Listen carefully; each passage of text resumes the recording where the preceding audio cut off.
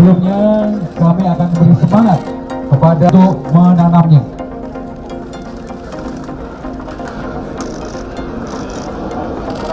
Ah, iya, dilanjutkan selanjutnya untuk sudah siap di bambu yang telah ada di tempat penanaman. Di